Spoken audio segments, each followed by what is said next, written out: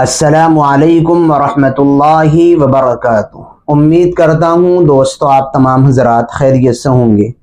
अल्लाह से दुआ है, जहाँ भी आप हैं, अल्लाह आपको खुशी और सलामती के साथ महफूज रखे। दोस्तों, आज आप हजरात की खिदमत में छः अहम ख्वाबों की ताबीरें मैं अर्ज़ कर रहा हूँ। और ये ख्वाब वो हैं कि आम तौर पर लोगों को इस तरीके के ख्वाब नज़र आते हैं और जब ये ख्वाब नज़र आते हैं तो फिर लोगों के दिल में इनकी ताबीर जानने की ख्वाहिश होती है कि इसकी ताबीर हमें मालूम हो जाए। पहला ख्वाब है, ख्वाब में नहर का पानी पीना। किसी शख्स ने ख्वाब में देखा कि वो नहर का पानी पी रहा है ख्वाब में तो उसकी ताबीर ये है कि ख्वाब देखने वाले को हुकूमत से किसी अच्छे काम या इसी तरीके पर उसकी मेहनत से, मेहनत पर इनाम से नवाजा जाएगा और उस, उसको ख्वाब देखने वाले को खूब खुशहाली नसीब होगी, यानी अच्छा ख्वाब है। दूसरा ख्वाब है पानी में गिरना। किसी शख्स ने देखा कि वो पानी में गिर गया है तो इसकी ताबीर ये है कि अगर बहुत ज़्यादा गहरे में पानी में गिरा है, लेकिन गिरने के बाद पानी की बिल्कुल तह तक नहीं पहुँचा तो इसकी ताबीर ये है कि ख्वाब देखने वाले को बड़ी मकदार में दुनिया मिलेगी। ख्वाब देखने वाले को बड़ी मकदार में दुनियावी मुनाफे, दुनियावी फ़वाद और फ़ायदे हासिल होंगे। अच्छा ख्वाब है।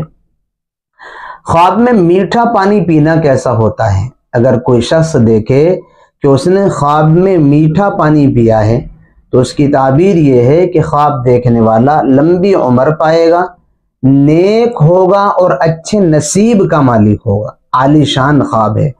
याद रखें, जब भी कभी कोई अच्छा ख्वाब देखें तो उस ख्वाब को जो अच्छा है, जिसकी ताबीर अच्छी है, उस ख्वाब पर अल्लाह का शुक्र अदा करना चाहिए। इसलिए कि अच्छे ख्वाब अल्लाह की जानब से नेमत होते हैं। और नेमतों के सिलसिले में कुरान का उसूल ये है कि जितनी नहमतों पर शुक्र गुजारी की जाती है, नहमतों का जितना शुक्र अदा किया जाता है, उतनी नहमतों और बढ़ जाती है। तो शुक्र गुजारी करें।